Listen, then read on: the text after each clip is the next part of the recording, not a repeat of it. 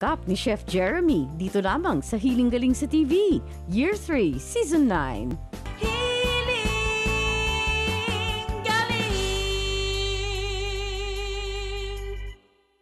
Kayo'y may hiling katanungan para kay Dr. E, mag-email lang sa questions at healinggaling.ph o mag-post sa Healing Galing official Facebook page.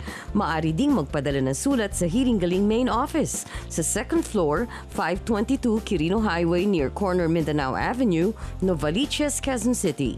O kaya ay mag-text sa Healing Galing hotline number 0921-445-0355 at antabayanan ang sagot ni Dr. E sa Healing Galing sa Radyo 5 tuwing Sabado alas 6 hanggang alas 8 ng umaga at tuwing Linggo alas 10 ng umaga hanggang alas 12 ng tanghali. Mapapanood din sa Action TV tuwing Sabado alas 6 hanggang alas 7 ng umaga at tuwing Linggo alas 10 hanggang alas 11 ng umaga at sa TV5 with Dr. E and Chef Jeremy alas 7 hanggang alas 8 ng umaga. Doc, 55 years old na po ako. Nung nagpa-TVS ako, makapal po ang endometrium ko. 12.2. Masama po ba ito? Tanong tungkol sa matres? Sa linggo, i-address. Hiling galing sa TV, Year 3, linggo, alas 7 na umaga sa TV5.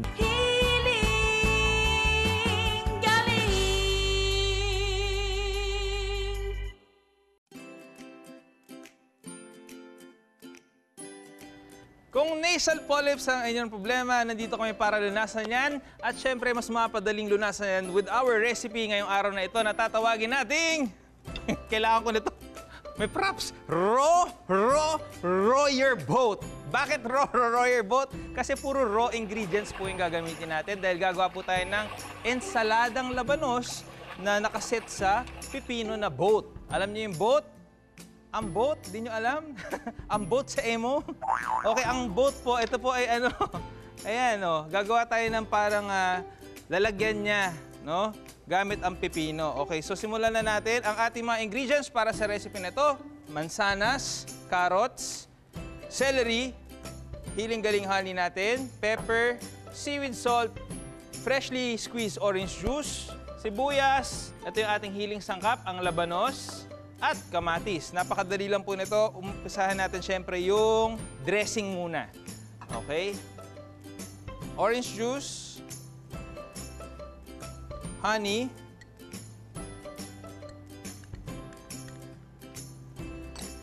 seaweed salt,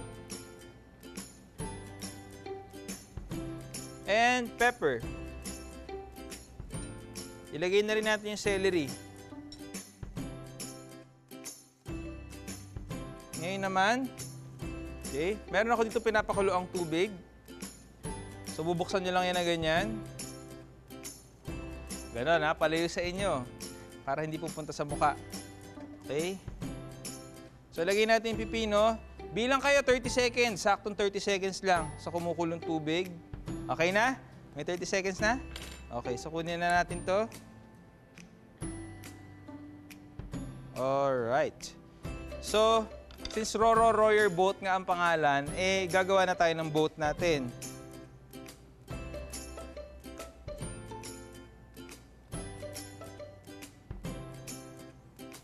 Yan. Tatanggalin niyo yung buto. Yung buto niyan. Okay. Scrape lang natin. So gawin natin, itong uh, malaking mixing bowl natin na ito. Lagay natin siya dyan. Next, ito, yung radish natin. Mansanas. Okay, and then carrots. At tomatoes naman, tinanggalan ng uh, buto. Okay. Lagyan ng seaweed salt. And pepper. Lagyan na tayo ng ating dressing.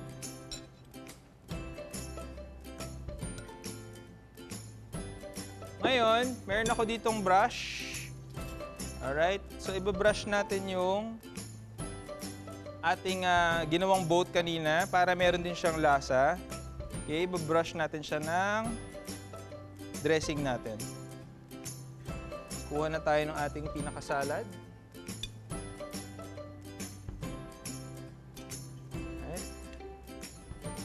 Alright! And, just like that mga kapatid, ready na ang ating raw, raw, raw, masayo pa, raw your boat. Alright. Kain na tayo. O, di ba? Welcome po sa Healing Sangkap segment ng ating wellness chef na si Chef Jeremy Fabia. O, ginagandahan ko ang intro, Ay, Chef, ayan. para masarap na masarap yan. Wow! Bon appetit! Yan ang ating Raw, raw, raw. raw, raw, raw your boat. Wow! Raw talaga. Yes. Tinamad kang magluto, ano? Na-miss ko din kasi mag-salad, do. Ang tagal natin di nag-salad Oo kaya. nga. Di ba? May Tsaka- labanos na pula, rich in iron. Tsaka perfect to para dun sa bisita natin. Oo nga. Di ba? Mamaya, papakain natin sa kanya. Kaya, kaya, na natin. kaya, kaya niya to, bungi yun eh. Dapat pala binlender. Mm. Very hydrating dahil puro makatas. May Medyo pipino. matamis-tamis pa. Mm. Dahil, Yung dressing niya, may honey, mm, merong ah, freshly squeezed orange juice at celery. may red apples pa. May red apple pa. Yun ang magugustuhan ng bata, Mm-mm. yung red apples. Tsaka maganda yung combination niya na lahat siya hydrating pero may variation ng lasa, may iba't ibang lalim ng lasa. Mm-mm. Pwede rin tong kainin na parang, Mm-mm. Parang corn. Mm. Demo ko, Dok. Parang ganyan, no? Ganyan. Mm. Kasi pinarboil natin niya. Mm. Ah. Ganon. O talaga, kaya messy lang ng konti kasi tutulo yung sauce. Yes. No? Yan. Hydrating talaga. Hydrating kasi nga may tumutulo. Mm-mm. Kano naman per serving nito? Dok, murang-mura lang. Pag pinagsama yung dalawang 20 pesos natin, mas mahal pa yon Dahil 35 pesos lang. May sukli pa! May sukli ka pa limang, may, may barya ka pang sukli. O, di ba? May hydration na, meron pang sustansya. Pero Diba? pwede rin nila gamitin yung labanos na pinangsisigang kung gusto nila. Mm-mm. I ano lang din nila, ibabad lang din nila doon sa dressing natin. Eto, at Ah. kung nagustuhan nyo yung recipe natin, eto, i-ready nyo na yung mga camera phone at mga camera at kung mga yung mga phone at mga camera phone, pinagsama ko na. At i-shot nyo na, ngayon na, ayan o. Now na!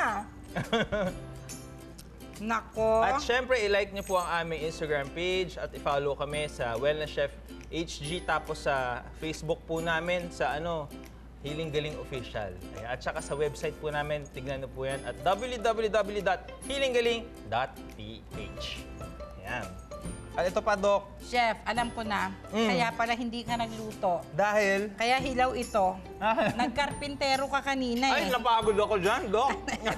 Ba't nagkaroon tayo ng mailbox yan. dito? At snail na snail. Pang Yes. snail mail yan ano? Hindi mo kilala to, Doc. Si Susie yan. Oh, sabi ko na Si eh. Susie Mail. Ang asawa ni Suso. Yes. Susi. Mm-mm. Ay, nako, nandito na At pala hindi siya. mo natatanong, Dok, nako, nung Ano? season 1 pa lang, pumunta na yan, bumiyahe na yan. Ngayon lang nakarating ngayong season 9. Sa sobrang bagal ng Oo. snail mail. Sa year to year At may laman nakarating. ito. Meron, Dok. O, dahan-dahan, ha? Mhm. Siyan ko lang, ha? May susi Sabi pa. ko, Dok, ano ka ba naman? Mm. High-tech, may susi. Ay, nako po. Puno Ayan, na. oh, ang dami, oh. Para Okay. masama yung bill ko ng ano dito, ng telepono, ha? Kasi puro high-tech na nga po ngayon mga kapatid, di ba? Kaya ang tawag natin sa mga sulat ay snail mail. mail. Ayan. Ayan. At Oo.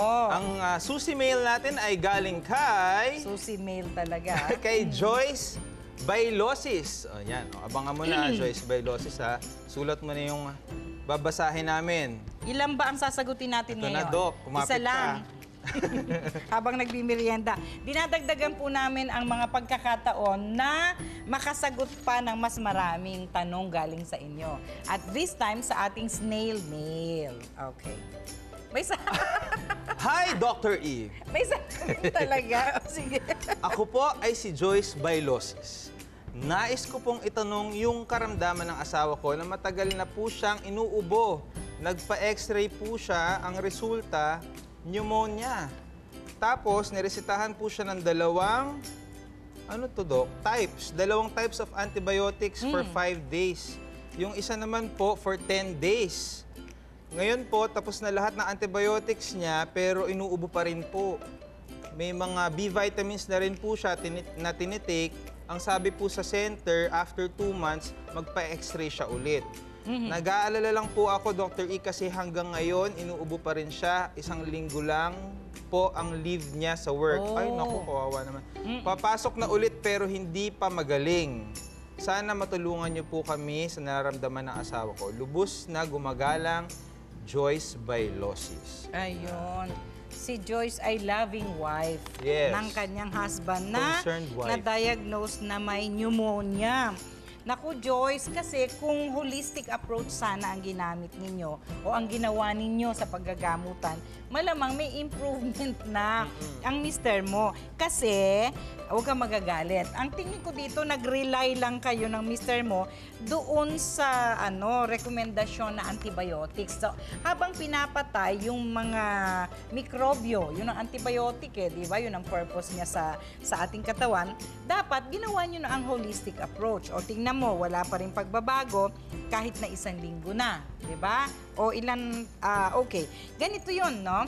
Minsan, mainit ang panahon, akala ng mga misis sa sobrang pagmamahal, eh, sweetheart, ibaon mo tong tuwalya sa likod mo para ang pawis ay ano, matuyo. Ma-absorb. Oo, ma-absorb.